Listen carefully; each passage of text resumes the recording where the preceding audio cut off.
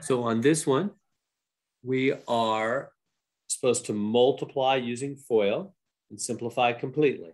Okay, so what does that mean? That means we take this first minus 2xy and he's going to go to both of these two. It's like they take turns, first to both, and then when we're done, the, the three will have his turn and he'll go to both. So it's first to both, second to both. So how do we multiply terms? Well, you multiply the numbers in the front. So minus two times plus four is minus eight. And then the powers are going to add on the same letters. So x1, x1 will make x2, and y1, y1 will make y2. So it'll end up being minus 8 x squared y squared. And then next, this guy is going to go to this guy. That'll be minus 24. 2 times 12, 24 xy. So minus 2xy times plus 12 is minus 24 xy. And now the 3, it's his turn. And he's going to go to both those. Is that making sense? So this guy's done now. You see how we do it. The first one goes to both, and then he's done. And then the second one goes to both. They take turns. First to both, second to both. All right. Let's uh, take it from here.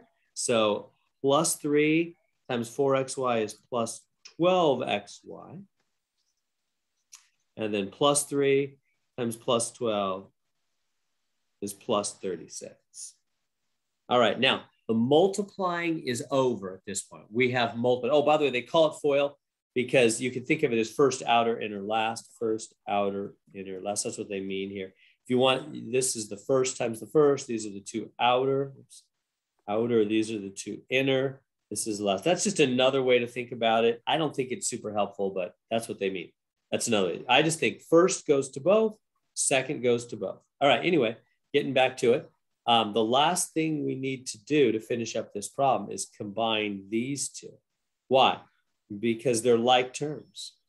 Combine like terms because these two have the same letter pattern, the exact same letter pattern, xy, xy is minus 24xy and plus 12xy. Uh, that means they can be combined. You can only combine, add or subtract matching letter patterns. So those two will combine. Now, what is minus 24 plus 12? It's going to be minus 12. And then the 36 at the back is still there and we're done there. So you see what happened in the middle? The minus 24xy and the plus 12xy made minus 12xy because they both have the exact same letter pattern, xy. So you just, that that's how you combine like terms. That's how you add, subtract. So when it comes to the rules for adding and subtracting, you only add or subtract matching letter patterns. They've got to be exactly the same, and they are in the middle, those two in the middle. And so, you know, 12 take away 24 is minus 12, isn't it? X, Y, and you just keep the same letter pattern. And we're done right there.